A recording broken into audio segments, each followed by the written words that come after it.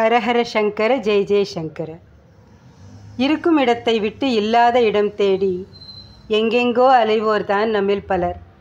கல்யாண விஷயமானாலும் அப்படித்தான் கடவுள் விஷயமானாலும் அப்படித்தான். வருஷ கணக்கில் பெண் தேடி அலைவார்கள் கடைசியில் எதிர் வீட்டு பெண்ணை மணமுடிப்பார்கள். வெண்ணையை கையில் வச்சுண்டு நெய்யை தேடி அலையிற கதையாகத்தான் இருக்கும். இந்த விஷயத்தை மகா பெரியவா கதை வடிவத்தில் சொல்லும் விதம் ரொம்ப அழகாக இருக்கும்.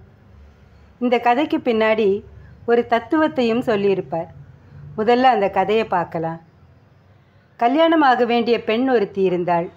அவளின் பெற்றோர் அவளோட முறைப்பையனுக்கே அவளை கல்யாணம் பண்ணி கொடுக்கலாம்னு தீர்மானம் பண்ணினா. ஆனால் அந்த பெண்ணும் புருஷர்களில் எல்லாம் உயர்ந்தவன் எவனோ அவனைத்தான் நான் கல்யாணம் பண்ணிப்பேன்னு பிடிவாதம் பண்ணினாள்.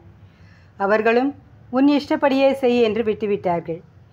அந்த பெண் புருஷர்களுக்குள்ளேயே உயர்ந்தவன் ராஜாதான். எனவே அவனைத்தான் கல்யாணம் பண்ணிப்பேன் என்று தீர்மானம் பண்ணி அந்த ஊர் ராஜா பின்னாலேயே போயின்னு இருந்தா ஒரு நாள் ராஜா பல்லக்கில் போயின்னு இருந்தப்போ ஒரு சாமியார் எதிரே வந்தார். ராஜா பல்லக்கை விட்டு கீழே இறங்கி அந்த சாமியாருக்கு நமஸ்காரம் பண்ணிட்டு திரும்பவும் பல்லக்கில் ஏறி போனார். இது அந்த பெண் பார்த்தாள். அடடா ராஜா தான் புருஷர்களுக்குள்ள உயர்ந்தவன்னு எண்ணி இத்தனை நாளும் ஏமாந்துட்டேனே. ராஜாவை விட சாமியார் உயர்ந்தவர் போல இருக்கே. கல்யாணம் பண்ணிட்டா இந்த சாமியாரை தான் கல்யாணம் பண்ணிப்பேன் அப்படின்னு தீர்மானித்து அந்த சாமியார் பின்னாடியே சுற்ற ஆரம்பித்தா ஒரு நாள் சாமியார் தெருக்கோடியில் ஒரு ஆலமரத்தடியில் இருந்த பிள்ளையார் முன்னாடி நின்று நெத்தியில் குட்டிண்டு தோப்பு கரணம் போடுறத பார்த்தா. சரி சரி சாமியாரை விட பெரியவர் இந்த பிள்ளையார் தான். அதனால் பிள்ளையாரைத்தான் கல்யாணம் பண்ணிக்கணும் அப்படின்னு தீர்மானம் பண்ணிண்டா சாமியாரோட போகாமல் அந்த பிள்ளையாருக்கு பக்கத்துலேயே உட்காந்துட்டா அது கோவில் கூட இல்லை வெறும் மரத்தடி தான் அந்த சமயத்தில் தெருவோட ஒரு நாய் போயின்னு இருந்தது அதுக்கு பிள்ளையார்னு தெரியுமா இல்லை கல்லுன்னு தெரியுமா? அது கல்லுன்னு நினச்சி அந்த பிள்ளையார் மேலே காலை தூக்கிட்டு போச்சு.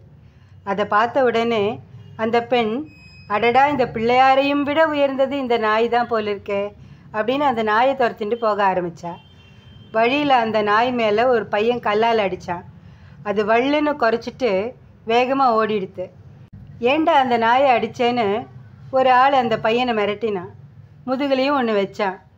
நாயை விட நாயை அடித்தவன் பெரியவன்னு நான் நினச்சேன்.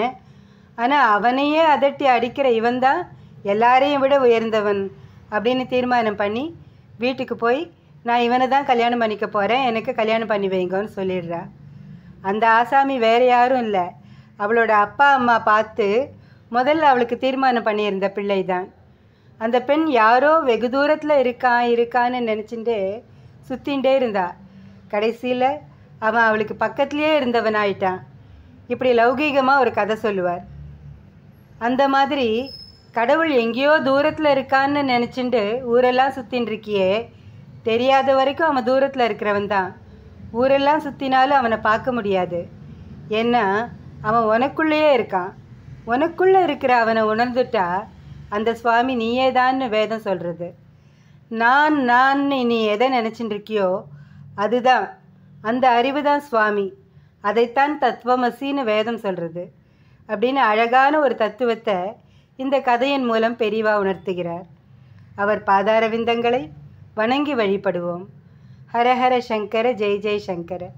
காஞ்சி சங்கர காமகோட்டி சங்கர.